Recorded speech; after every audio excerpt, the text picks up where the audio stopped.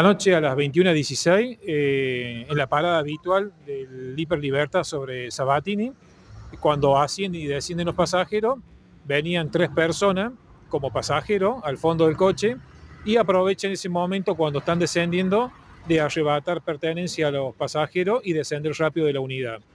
Eh, dos bajan y el último es retenido por los pasajeros, donde se produce todo este problema, toda este, esta agresión de los que habían quedado abajo tirándole piedra al coche y una de las piedras impacta en el conductor.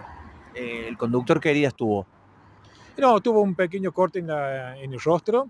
Eh, gracias a Dios está, eh, no fue grave y está, está bien. Ante este problema y ante la agresión y el desconocimiento, el cuerpo delegado eh, deciden suspender el servicio en todas las líneas que pasan por Sabatini, por ese lugar, entre las 22.20 y las 0.30.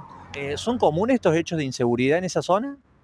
O sea, veníamos con algunos hechos que lo venimos trabajando con jefatura y eh, gracias a Dios no, no, se estaban produciendo en este último tiempo, hasta que bueno, pasó lo de anoche. Pero es un trabajo constante que venimos haciendo en todos los sectores de la ciudad es un trabajo en conjunto que se hace y nos juntamos con el gremio y las tres empresas con jefatura una vez al mes, donde se plasma todos los inconvenientes y ahí se planifica las medidas de seguridad.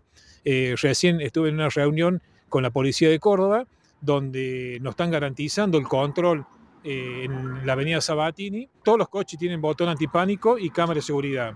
Entonces, cualquier cosa le pido a los pasajeros que ante cualquier eh, inconveniente, cualquier problema que tengan, que acudan al conductor está totalmente garantizado la, continuidad del servicio. Sí, sí, está garantizado y justamente estamos trabajando en este momento con la Policía de Córdoba para que no tengamos ningún inconveniente.